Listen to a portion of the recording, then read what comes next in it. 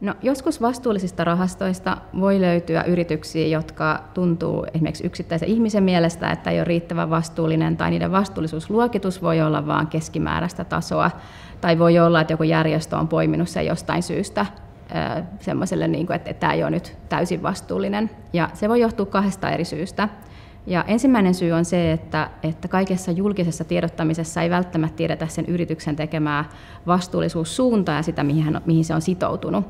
Ja, ja tota, kun me sijoitetaan vastuullisiin yrityksiin, niin meille on tosiaan tärkeää se muutos, minkä se yritys tekee. Ja sitten toinen syy on se, että, että on olemassa myös semmoisia hyvin laajoja vastuullisuusrahastoja, missä katsotaan ensisijaisesti semmoista keskimääräistä vastuullisuutta. Ja jos sijoittaa kehittyville maille, niin siellä yritysten vastuullisuustaso ei ole samalla tasolla kuin vaikka Suomessa. Mutta se on tärkeä, koska sieltä me saadaan se muutos maapallolle aikaan. Ja silloin se voi olla niin kuin suomalaisiin vastuullisuusluokituksiin nähden aika paljon heikompi. Mutta tärkeintä on se, että sillä omalla markkinalla se yritys on sit keskimääräistä parempi.